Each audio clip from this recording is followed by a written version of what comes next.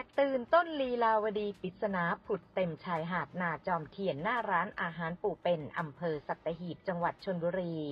วันนี้ผู้สื่อข่าวรายงานว่าได้เกิดเหตุการณ์สุดแปลกประหลาดขึ้นที่บริเวณชายหาดนาจอมเทียน โดยเฉพาะบริเวณหน้าร้านอาหารปูเป็น ที่มีต้นลีลาวดีผุดเรียงซ้อนกันสองแถวจำนวนหลายสิบต้นอยู่บนพื้นทราย และทุกต้นอยู่ในสภาพเหี่ยวเฉาสร้างความสงสัยให้กับผู้พบเห็นและนักท่องเที่ยวทั้งชาวไทยและต่างชาติ ขณะบางรายได้พากันถ่ายภาพโพสต์ลงโลกออนไลน์ พร้อมระบุว่าสิ่งที่เกิดขึ้น เป็นเรื่องที่ไม่เคยปรากฏมาก่อน ส่วนชาวเน็ตต่างพากันคาดเดาไปต่างๆ นานา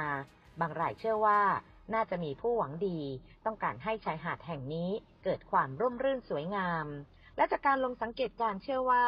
น่าจะมีผู้นำต้นลีลาวดีมาฝังบนพื้นทรายเมื่อช่วงคืนที่ผ่านมา แต่ไม่รู้ว่ามีพัตถุประสงค์ใด ที่สำคัญขณะเกิดเหตุ ไม่มีผู้ใดพบเห็นเหตุการณ์ แต่ก็ยังคาดว่าหลังจากนี้จะมีหน่วยงานพื้นที่เข้าตรวจสอบ